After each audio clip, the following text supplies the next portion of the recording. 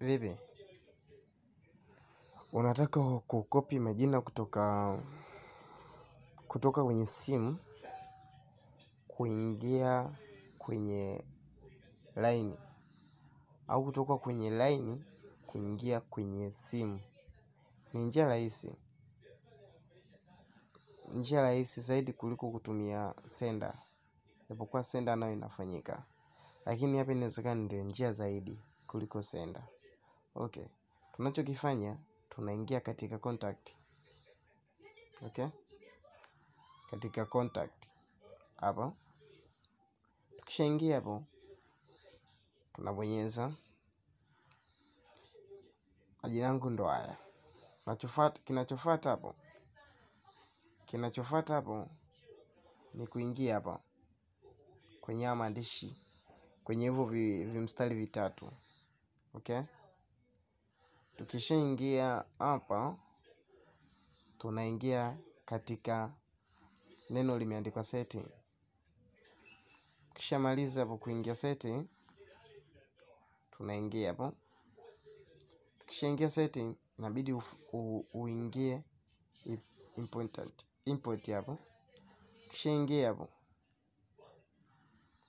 ukishaingia hapo inakuja hivi ok ikishakuja hivi sasa hapo ndo we mwenyewe tu ndo una, unaangalia. Kama majina kwa mfano majina yapo voda. Yapo voda. Sasa nataka yaingie airtel.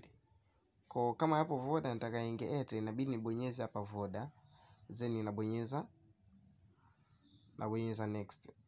Hapo. Nikishabonyeza next hapa ndipo nitaweza kucha, kuchagua nataka yaingia wapi. Kama nataka yaingie email nabonyeza email.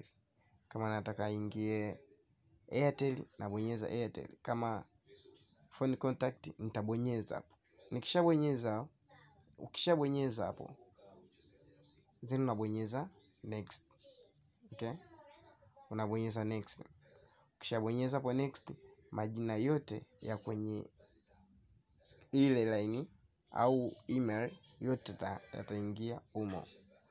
Kama nataka kutoa vivo hivyo, kama nataka kutoa kwenye email inabidi bonyeze email hapa then nabonyeza next. Alafu nakuja hapa. Hapo ndo kucha, kuchagua kwamba unataka yakae sehemu gani. Kutoka kwenye email kuingia hapa. Wewe mwenyewe tu ndo unaamua uweke. Ukishabonyeza tu yani ni kitendo cha dakika moja ni kitendo cha dakika moja tu. Kukopi. Inakuwa sawa. Kila kitu fresh. Kuliko kutumia senda asante.